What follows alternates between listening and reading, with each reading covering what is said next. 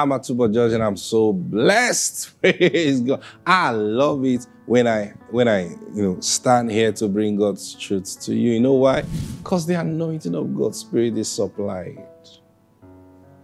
And if you're a true minister of God, you always want to live in that anointing. Praise God. You always want to stay there. Because it's sweet, it's beautiful. And guess what? It is for you. Praise God. So I know today God is going to lift every burden in your life. Yokes are going to be destroyed in your life in the name of the Lord Jesus Christ. Amen. Can we call for that daily bread? Say this with me. Say, Father, I receive right now my daily bread. It's coming to me in good measure.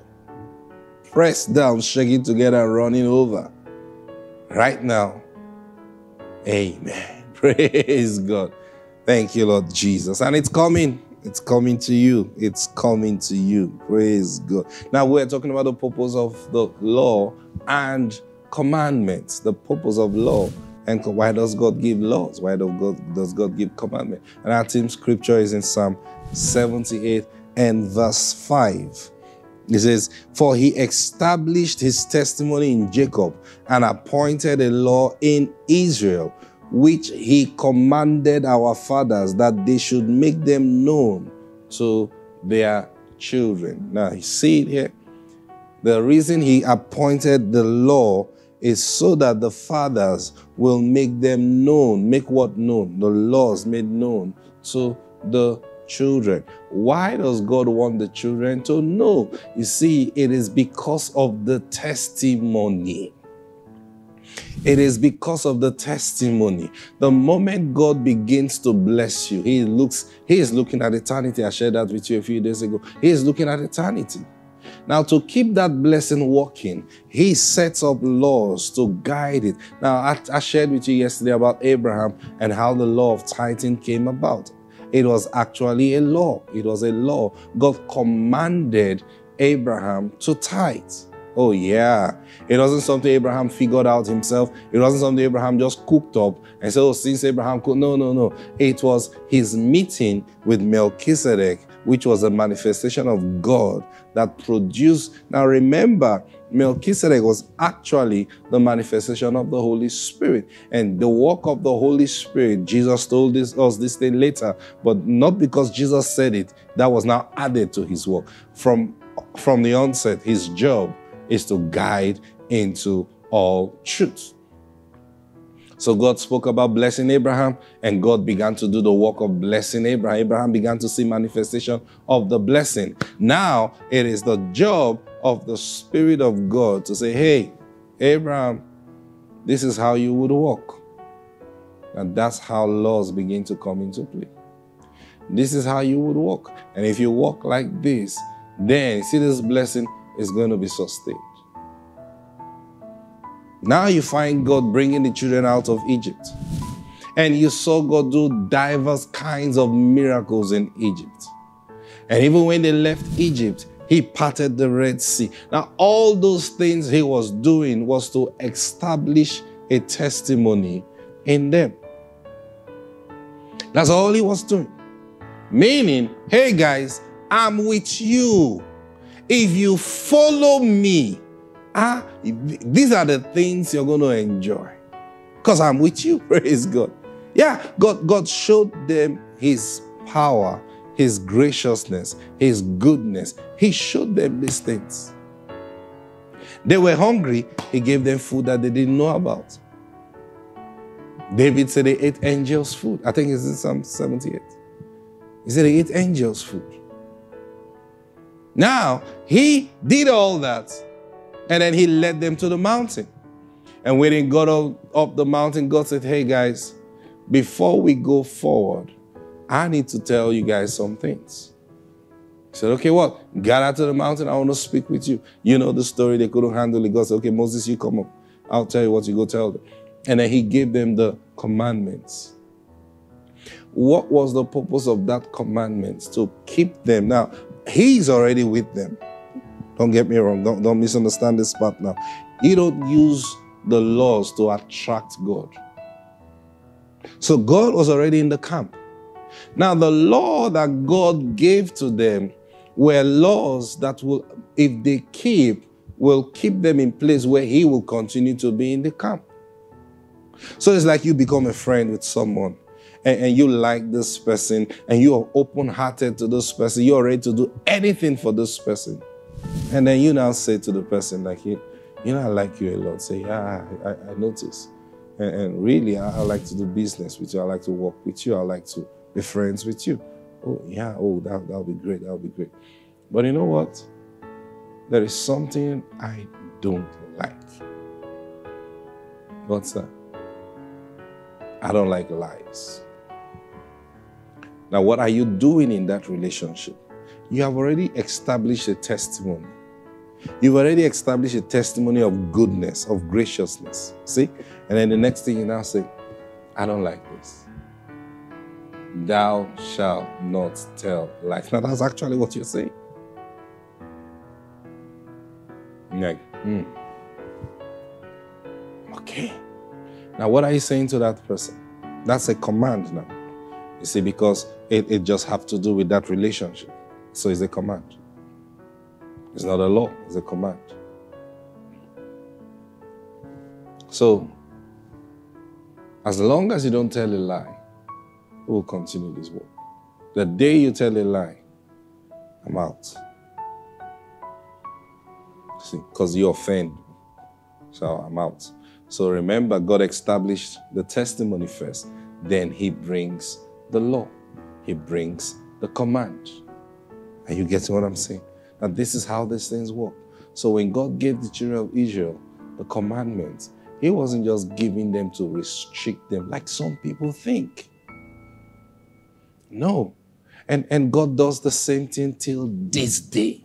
There is no one who really works with God that don't receive laws from the mouth of God. If you don't, then sorry, your life, you're not going to go far life. If you don't have laws that guide you from the mouth of God, I'm telling you, whatever you're doing will not go beyond you. Now, you see, many a times, I, will never forget one day, many years ago. See, a friend of mine had come to see me. Now, I have seen God's covenant of blessing. I've seen God's covenant of protection in my life. Remember a few, days, a few days ago, I told you, think about yourself. What can you point out to say that, you know what? See, God is with me. That's your testimony. So I many years ago, a friend of mine had come to see me. So I was traveling. So I escorted her to the um, bus park. And we got there, and she boarded the vehicle, paid the fare. And just before they left, or I think I was about leaving or something. So I said, Oh, let's pray. So I took her hands, and as I opened my mouth to pray, I knew utterance just came. You know, I mean, if you know what I'm talking about, you will understand. So I, I began to speak words, certain specific words. And when I was done, you know how you just you finish praying, just that you know, just just go, you're fine, your journey is safe. So I was going, and I was like, Lord, that was a good prayer. Because I didn't think it up. And I heard the Lord say to me, anytime you are traveling, or anytime you are praying over someone who's on a journey, pray that prayer or pray with those words. All right. Yes, sir. Praise God. Yeah, that's many years ago. Now, what's that? Now, I told you already, God have shown me grace where, where protection is concerned. He's protected me. Ah, praise God. I mean, He's done so. Now, He introduced a command. See? Now, it's a command to me. Now, whenever I'm traveling, I remember to pray that prayer. Whenever I'm praying for someone who's on a journey by road, by air, by sea, I pray that prayer. And, and here, here is the thing. Here is the thing. Now, as long as you pray that prayer, now that's to me. Now, I can pray it for someone else. But I, I don't know except uh, the, the, the, the grace of extension, you know, like God's not a of person. If he does it for one, he, he can do it for another. So someone else can hear that prayer and say, Oh, I'll, I'll start praying the same prayer too. It, it would work. But then it, it will work until the Lord introduces you to your own. See, that's how these things work. Because the Lord has not made it a law yet. You say, everybody must pray like this. No, that's my command. When I'm traveling, when I'm praying for someone who's traveling, that's my command. You get what I'm saying? Now, why did he bring that command? He brought in that command to keep the covenant of protection where journeying is concerned. You get what I'm saying? Now, another instance, I was fellowshipping with the Lord, and the Lord was teaching me some things. Now, you see that teaching he was teaching me, he was establishing his testimony. See, he was teaching me how to dwell in him. He was teaching me that. Then, when he, he was done, he gave me a command. And then he says, This is the reason every day you must break bread. And when you break bread, you must declare these words over your life. Now, guess what? I can tell you many things like that. See, as I was telling you earlier, as a child of God, there are laws you must have in your life. There are commands that the Lord has given to you that you must keep. So I look at your life, I look at the things you do, that's a proof that God is in you and God is with you. Because if you just live your life so freely, I mean, just do anything you want to do when you want to do it, no laws, no commands in your personal life, I question if God is truly working with you. See? So now, he commanded and he says, begin to break bread on a daily basis. Said, yes, sir. So we do that as, as a family. We break bread every day. Praise God. Why? That's God's command to us. Well, now listen. Now, I started it as, an, as, as, as a single person. Then I got married. My wife joined me in it. And then now we have children. And we, we do it as a family now. And then now it's our turn to now do what? Teach our children. Now you see, it has become a law. The law of breaking of bread. And this is my own household. You get what I'm saying? So I teach them. Now, it's rooted in a command that Jesus gave that as often as you do this, you remember me. So Jesus gave that command. Now, in that command, you, anybody can take that. I've shared my own testimony. So anybody can take that and begin to obey that. Now, in obeying that as often, you can do morning and evening. That's your choice. But then, why you are doing that is because there is a covenant of life that exists that God have shown as a testimony for you. God has established that testimony of life in Jesus. So Jesus said, Except you eat my flesh and drink my blood, you have no life in you. Are you getting that? You have no life in you. So God established the covenant of life in Jesus. And then he appointed a law. So when Jesus took that bread before the disciples and gave them to and said, Take it, this is my body. And then he commanded them to do this in remembrance of him. What was he telling them to do? He was telling them a giving them a law. He appointed a law for them to keep the covenant of life. Are you getting these things? As long as you keep those laws. But remember, keeping the law in itself without understanding the testimony that produced that law might not do much. That law, keeping that law, may end one day.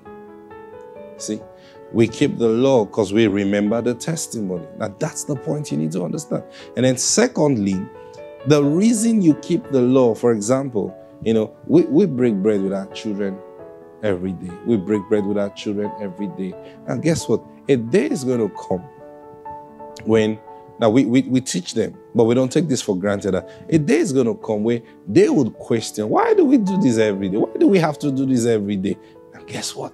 And that is an opportunity to remind them of the testimony that God has established in our lives. You see that now? Praise God. Our time is up. I'll see you tomorrow.